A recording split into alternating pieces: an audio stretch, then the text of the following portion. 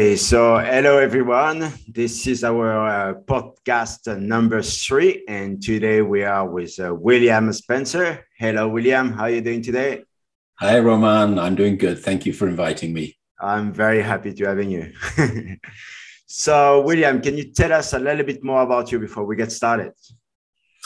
Yeah, I'm originally from England. I live now in New Jersey, uh, having married an, an, American girl from uh, Manhattan and I'm semi retired. I spent most of my life doing organizational change and corporate training work. And um, I still love to be on my bicycle. I get out on my bicycle as much as I can. And I have two kids. And uh, yeah, that's it. That's it. so, what led you to start long distance cycling? Mm, yeah, yeah. Well, it's interesting, really, Roman, because initially why I started to cycle is I grew up in a, a, kind of a crazy household. My mom and dad were both alcoholic. They were kind of at war with one another. So our house was always a bit of a, a war zone, a crazy place. And when I was younger, I when I was very young, I used to just leave the house for the day. But as I got a little bit older and I was given a bicycle one Christmas, I found that I could go away on my bicycle and there's something about the bicycle when you're there, you're moving your feet like this, you've got the wind in your face, you're in, in nature. And I found that that made me very calm and settled and was really kind of, if you could say, like the medicine to the problem that I had at home. Yeah. So that that was really the first thing. And then the other thing was the town I grew up in, which was north of London, a town called Hemel Hempstead. We were near beautiful English countryside. And the other reason I started cycling is I just so loved going out among the trees, uh, seeing nature, these beautiful vistas, you know, summer, summer's day with the butterflies and the bees. And oh, I just, it was, it was getting away from home and it was also being out in the beauty of nature. Was it easy to get out from home? Are you, were you living near the city, a big city? Was there a lot of parks around and yeah, yeah. Well, no, great, great question. Well, you know, we're talking, I'm now 67.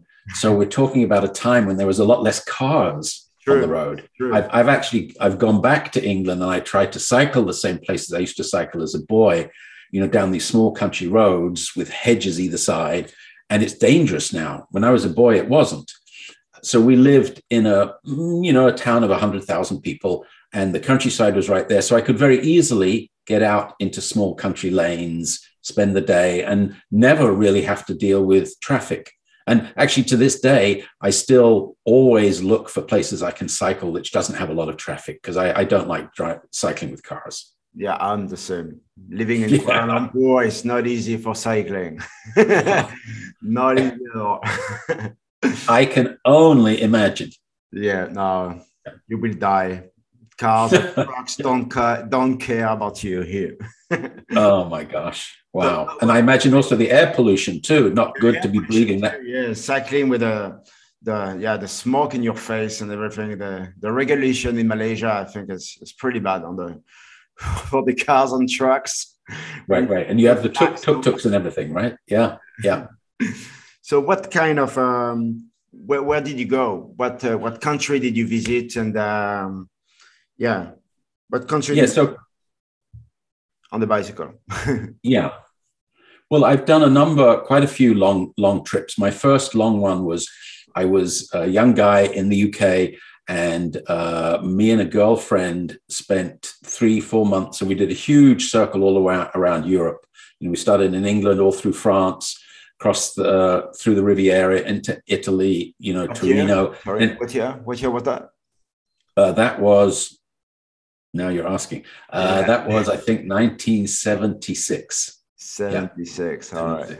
Just yeah. to let everyone know that it's different at that time that it was at this time. Yeah, yeah, yeah. Yeah, well, and, and you know, I t- talked about in England how there was less cars. Of course, in everywhere in Europe there was less cars, um, and we cycled across the Alps uh, in winter. It was frozen. It was so cold going down these paths through the Alps we just had regular brakes, you know, not disc brakes, uh, and it would also it just full of ice, and you wouldn't stop the, the bike. So, it, what's that? What about the tires? Because now they the spike tires for the for the snow, but right. time maybe did not exist. You know? No, no, no. Well, you, you, I used to study the road very carefully and try and make sure I stayed on the dry patches. But what what what we did is the snow plows had come through and they left big snow at every turn of the road. So we just ride our bikes down and whoof, go into the snow to stop and then get on again and then go into the snow again to stop. Uh, so that that was, uh, and then we went back into France, into Belgium, uh, and then got back really in the middle middle of, of winter. And it was on the last day of that trip when we stayed at the Dover Youth Hostel.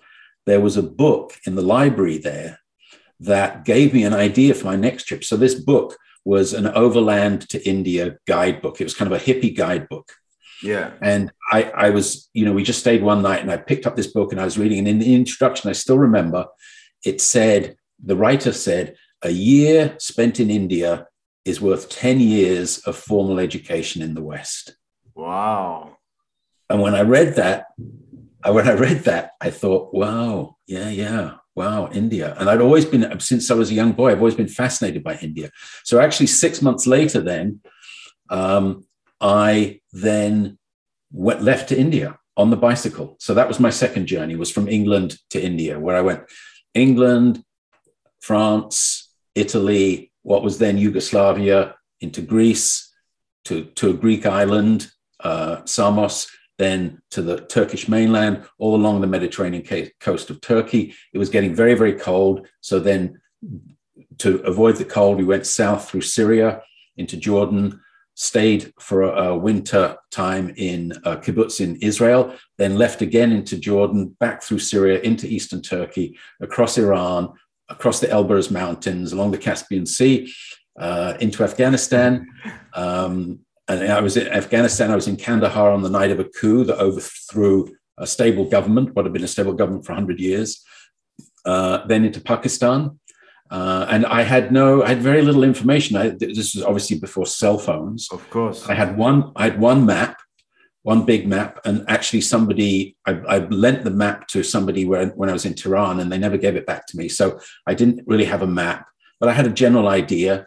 Um, and you know, in Pakistan, I found out that the only border crossing to India was a, about a thousand kilometers to the north. So I'd gone all the way to the south, thinking I could cross into India down there. But then I found, oh no, you know, since partition of India and Pakistan, there's only one border crossing. So I had to cycle all the way up the Indus River Valley and then into India. But what, what about the, the visa? Because now we know that at that time now it's very complicated to get visa to, to pass through different countries but in the yes. 70s how, how it was? Was it easier?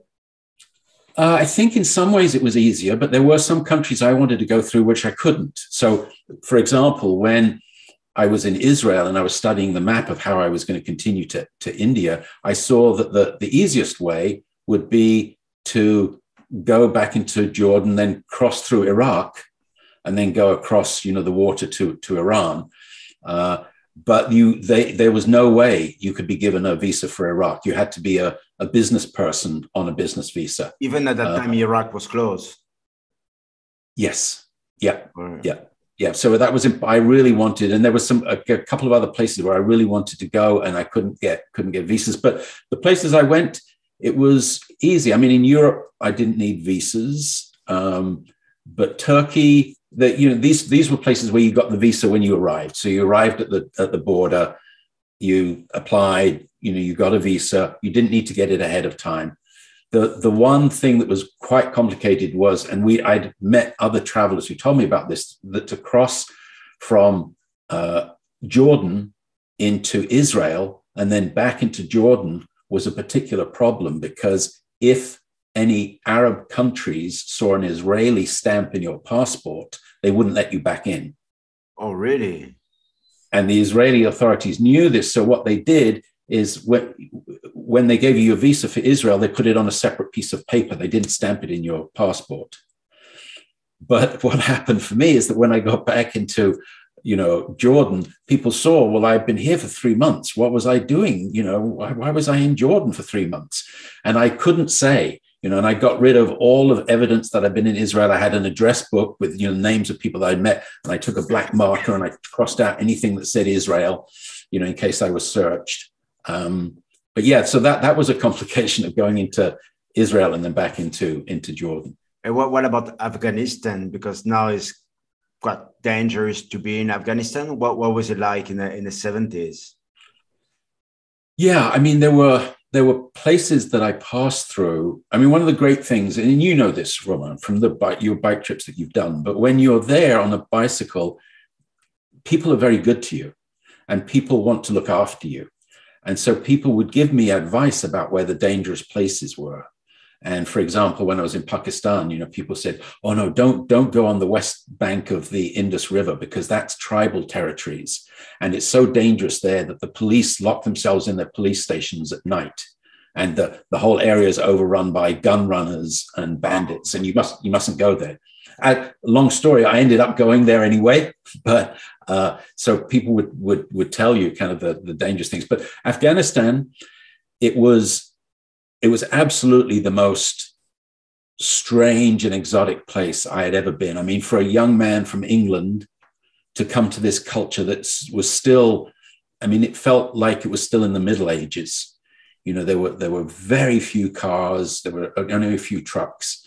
Um, but you know getting the visa for there was not was not that hard. There was a complication that i tell in the story of my book. I wrote a book about that that trip and i tell the story. There's a, a complicated story about the visa for afghanistan that i later found out it was difficult because somebody in afghanistan knew that there was going to be a coup so they weren't giving visas beyond a certain date because they didn't want any foreigners there to get caught up in the yeah, yeah. coup yeah. How did you apply for the visa at that time? You had to go to the embassy. You had to. Yes. Yeah. So time, yeah. to to to uh, to get the Afghan visa, I applied initially in Tehran, in Iran. So in each in each country, I'd know that I needed to, to go to a big city to apply for the visa for the next country. Yeah. So, for example, for Syria, I think I applied for the visa maybe in Antakya or Antalya or Mersin, one of the big uh, Turkish cities. And then when I was in in Syria, in Damascus, I applied for my visa, went to go into uh, Jordan. In Jordan, uh, I got my permit to what they call visit the West Bank of Jordan, which is really Israel. And I did that in Amman. So, yeah, in each country, I knew the next country and I'd go to the big city and apply to the embassy there. Yeah. And I think you did not mention how old were you when you did this trip? Yeah, I was a very naive 22, 22 years old. 22. Yeah. What, what did your parents think about this or your family or your friends? What did they think about this? Yeah, yeah. Well, you know, I mean, I told you earlier that um, my parents were always at war with yes. one another. So right. by the time that they had divorced later, so it was actually, I was living with my mom and my stepfather. And my mom was French and she traveled all over the world, lived in Australia. So she was a real, real traveler. She's really supported me. And she, I talk about this in my book, but she really wanted to show my encouragement. So just before I left one day, she comes back home and she says, I've got a gift for you. And she gives me a little hand trowel, you know, that you use in the garden to make plants. And I said, Well, what's this for? She said, Oh, this is so that you can bury your poo when you, when you travel. but I, I didn't take it with me because the you know the, the amount of space you have in your panniers is limited. That's funny. And do you think that the long distance cycling has changed your life? Would your life would that be different if you had not discovered the long distance cycling? Wow. I mean, it would be, I think it would be completely and utterly different. I mean, I probably, I would probably be living in England. I'd probably be depressed.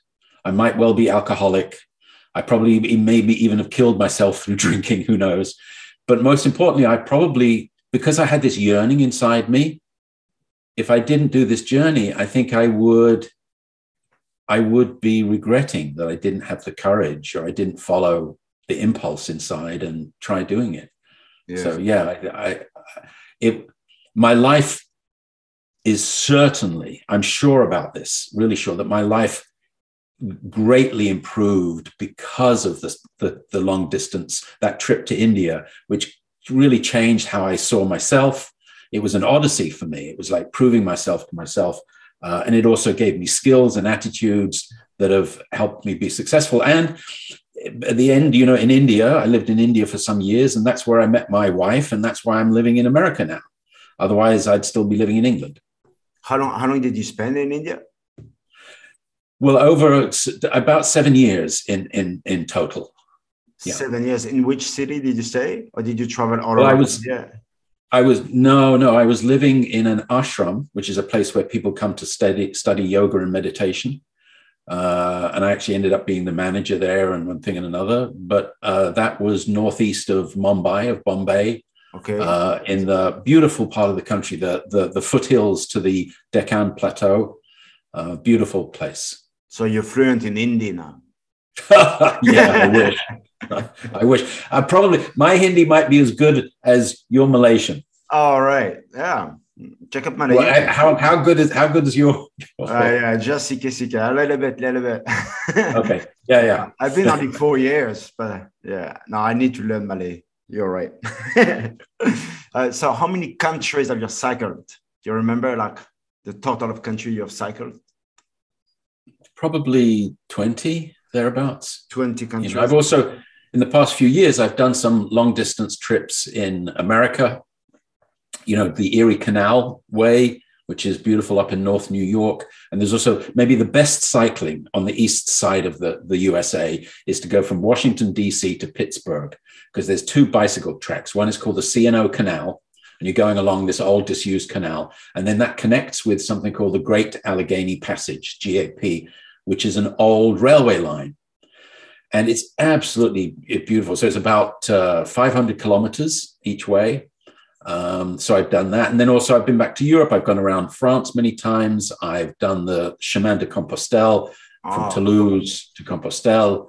I, a few years ago, I went from Amsterdam to Budapest along the Rhine and the Danube. So whenever I can. And this year I'm planning to go and do a big four month trip around Europe because now I'm semi retired and again I have time and the kids have left home. And yeah. So, yeah.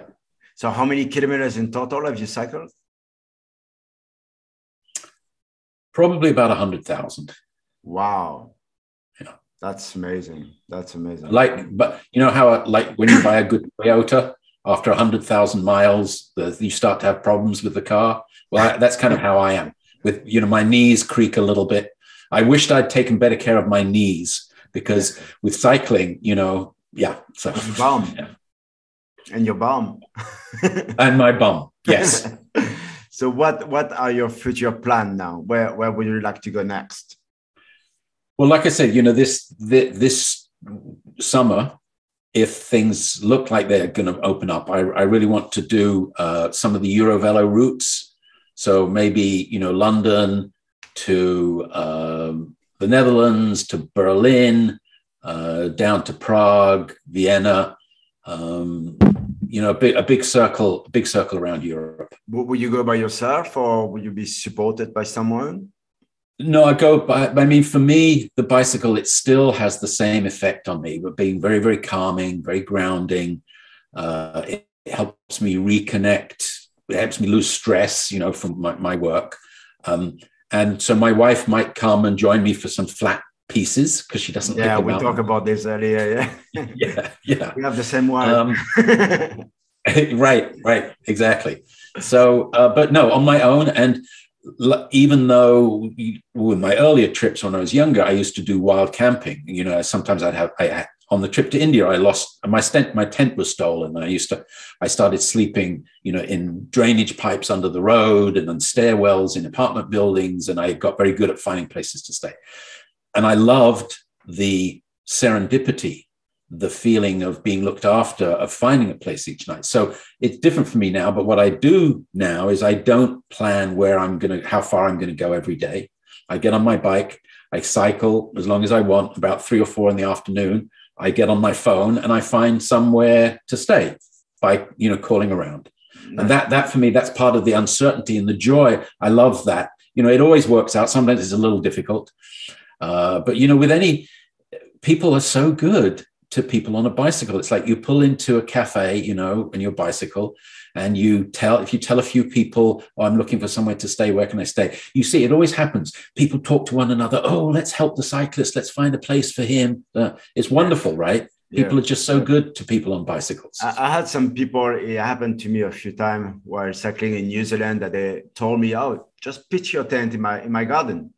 And there's yeah. a guy who had a, a caravan in his garden. I said, why don't you sleep in my caravan tonight? And and then we go yeah. dinner together and then oh let's go drink beer together and yeah some people are very very nice they really uh yeah caring yeah yeah yeah and i think that you know it brings out that's one of the, the great things about a, a bicycle i think it really brings out the best in people and I've I've spoken to many people who've done long distance tours. You know, I'm a member of a, quite a few Facebook groups, and you see people have similar stories that you know they're treated so well these unexpected gifts people given meals given as you say given a place to stay um, and it really in, today, in today's world when there's so much in the media about the polarization of politics and you know terrorism this thing that thing it's really i find it's really really good to reconnect to the fact that human beings are basically good hearted creatures. They are basically, and particularly, particularly the poor people and the simple people of the country. You know, cities make us more crazy and maybe, you know, cover up some of our good nature. But you find that on a bicycle. I mean, did you find the same? I find the same as well. I didn't have that much trouble. I don't know if you had troubles on the road, but for me, I, I got robbed once because I was not uh, pretty intention of what, I was doing. Yes. Uh, I, ne- I never had any any trouble on the road. Never. No. What about you? No. Did you have any any like big trouble on the road or get robbed or, or marked? Uh, well, no. As I said, when I, when I was in Athens, my tent was stolen. Um, I I knew that that was a risk, so I always always had the bicycle with me. I never left the bicycle out of my sight. You know, if I would, if okay, like the few times when I paid for a hotel, if I was very sick, it would be a very cheap hotel, but I would ha- have my have my bike in my room the the the worst thing that happened for me was I had a very big accident when I was in Tehran, um, where I was coming down a big hill. Actually, after going, I went to the Afghan embassy for my Afghan visa, the, and the embassy is at the top of a hill. Tehran has some, you know, big hills. Uh, and then I was coming down very, very fast. I must have been doing probably close to 80 kilometers per hour Oof. coming down. And I saw up ahead there was a red traffic light with a line of cars, and the light turned green, and the cars started to pull away. And because of that, I just kept going really fast down the side of this taxi. And just before I came there, somebody opened, a passenger opened the door. And I went into the edge of the door and I went over the car and I landed in Tehran. They have these concrete ditches by the side of the road, drainage ditches. I landed in that. Um, and I thought my bicycle journey was over. But, and I tell this story in the book, but what happened then was beyond, I mean, you couldn't invent it.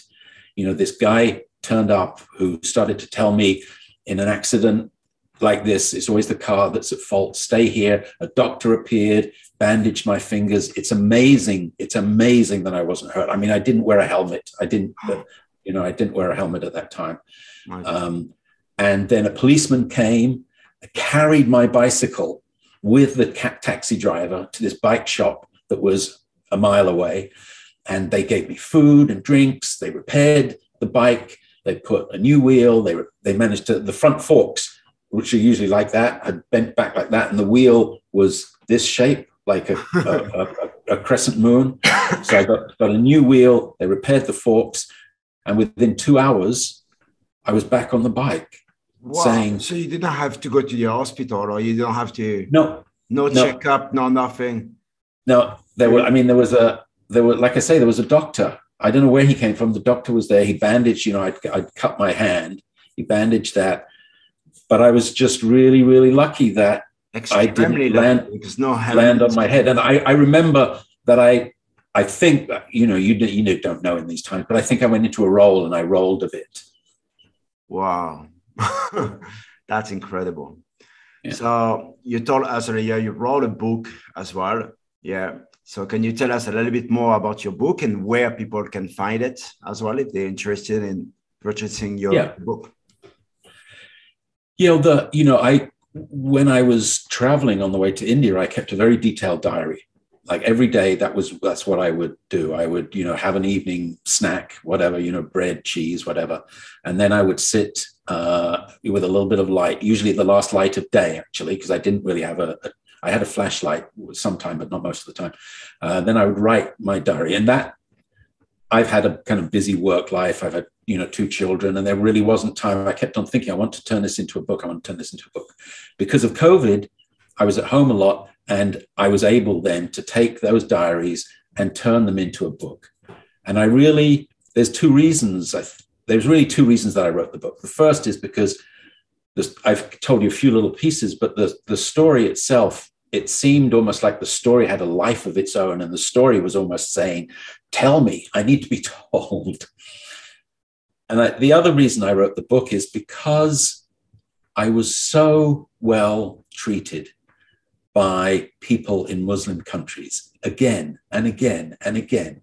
You know, the poor farmer, the student, the railway station station master, all these people, people who had nothing, treating me like I was a visiting king. It's true. Because of that, I came to understand oh, Islam actually is this wonderful, generous faith. And that's such a different story from what we get with terrorism and you know the Maybe. and that's also that is part of islam also but the, for the common man for millions and millions of people islam is a force for good so i wanted to share that with people and i wanted and there's a little bit in the book about islam which is as i learned it i sort of shared it in the book and so i really wanted i, I hope that people will read the book and will get inspired by the journey be entertained by the journey because there's a lot happened but also come away thinking about the goodness of people and maybe have a slightly different view of Islam. We didn't speak about this earlier, but how did you afford this trip? Because you were so young. So how did yeah, you yeah. afford this trip at this time? Where did you find right. money? well, so I was I was lucky because I'd been I was working uh, doing computer work uh, at that time, I was doing some computer programming work, and by a divine coincidence, I was given the opportunity to work uh, a four day weekend over the Easter weekend where nobody else wanted to work. And they paid me four times the usual price because nobody else wanted to do this work. And I was young, I didn't care. So I did it. And just that money is what I lived on for a year. It was, it's very little money because by the end of the journey, my budget each day was about five rupees, which in, you know, is US about 15 cents, I think, you know, 10, 10 cent in euro. A So very little money. A day. A day. Five, you could live with five rupee a day. Yes, in the end, because wow. I was sleeping outside. I had a plastic sheet. By that point, I just slept out under trees. There was no rain. Uh, where there was rain, I used to, you know, find somewhere at least a bit dry. Um, the only expense I had, I didn't didn't have a cell phone, so I didn't have to have any cell phone charges. No, of course. Uh, the, the only the only expense was food, and part of what I said earlier about the generosity of Muslim people, of people in you know Muslim countries, there was predictably there was always offers of food, of chai, of a place to stay. And actually, and I say this in the book, that actually what happened was I got so many invitations so regularly that actually I ended up realizing, oh no, I really don't want to be have company again tonight because I've always got to tell the same stories and I've got to stay up late with them and talk to them. But the point is that I was given so much money, food, care, um, and so that's how I was able to live on five rupees a day. Yep. And what made you come back to your country? why you decide to well, live, to live in India? Well, well, it was it basically it was health. So uh, you know, I ended up having quite a history of GI problems. You know, you, there's a lot of uh, issues you can have in the tropics, as you know, uh, and that's really what uh, I got very, very, I got quite sick and I needed to come back to England. Yeah. Was it dengue? Was it a dengue or? Uh, no, it's just, uh, you know, parasite infections, so intestinal parasites. All right. Yeah. All right. So from bad water, bad, bad food. bad food here yeah, in India. but, uh, right. Well, but before that though, and it's, this is in the book, but I, you know, I in Pakistan I got very very sick with hepatitis. Oh. Um, you know, the, the the whites of my eyes were the color of ripe pumpkin. It was bright orange, the whites of my eyes. And I was, and that was one of the reasons initially why I stayed in India because I was just too weak to continue. And your health is good now? Yeah, yeah. Thank you. Yeah, the the yeah. GI problems have stayed with me and have been a, an old friend. But yes. so, can you tell us where people can find your book? I will put all the links in the description below. But oh, thank you. tell us where people can find your book. Yeah, well, the, the the the book you can get it really anywhere where you buy books. Basically, you buy an Amazon, an independent bookshop, uh, you know, online uh, in India, books, B-U-K-S. There's you really get it anywhere. You get the ebook anywhere. You get the ebook uh, on Amazon. You can get it on Google Play. Uh, and there's also an audio book. So uh, you get the audio book on iTunes. You can also get the audio book on uh, Audible, Amazon Audible. So basically, if you search for it in your country, you search the title, you will see where you can buy it. It's very easy to get. Fast, I hope it's easy to get. Far sweeter than honey. Why this title? Ah, okay. why? I'm going to read. Why? yeah, yeah, yeah. So let me read you the little poem that comes from a Persian poet, Sadi, uh, from a, a, a, epic poem. So Sadi is kind of like uh, the Persian Shakespeare from the same sort of era, and he wrote some beautiful poems. And this is one of the poems that starts my book. Oops, one second. In many lands I have wandered and wondered and listened and seen, and many my friends and companions and teachers and lovers have been. And I said to my soul in secret, O thou who from journeys art come, it is meet that we should bear some token of love to the stayers at home. But if my hands were empty of honey and pearls and gold, there were treasures far sweeter than honey and marvelous things to be told. Beautiful. That's very, very beautiful.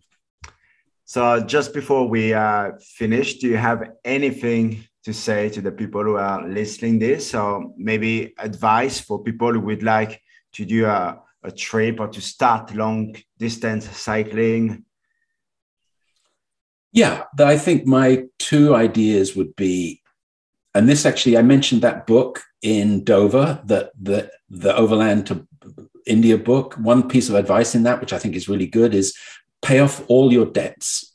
I mean, emotional debts, financial debts, so that you can really leave and be free. So that's one one thing. Um, so get your affairs in order, you know, check your health, get your teeth looked after, all of that, because those are things that can cause you trouble when you when you're going. The other thing I see when I look at Facebook, they have many people have these photographs of all this stuff that they're going to take with them on their journey. And when I see these pictures, I often think to myself, you know what? You're going to find out that you need less than you think. Because wherever there are roads, there are people. Wherever there are people, there are houses, there's food, there's care, there's medical attention of some kind. So you need less than you think. And there's this wonderful idea that when you're packing, you should lay out everything you think you absolutely need and then remove half of it. So I would say take less stuff. And the last thing is you don't need expensive equipment. You don't need an expensive bike. You don't need carbon this, titanium that. You can buy a secondhand steel bicycle you can buy used pannier bags. I wouldn't go crazy on needing all the equipment. And if you spend $3,000, 3,000 euro on a bike, or you spend 30 euros or $30 on a bike, when you meet that first mountain, there's no difference. You're going to have to pedal your way up it. So it doesn't make any difference how fancy your bike is. No, you're going to struggle anyway. you're gonna you're gonna do the work anyway. Thank you very very much for today, William. It was very very nice to meet you. And you. I wish you Thank you all the best, William. Thank you for everyone to listening as well. And yeah. uh, see you on the next podcast, guys. Bye bye.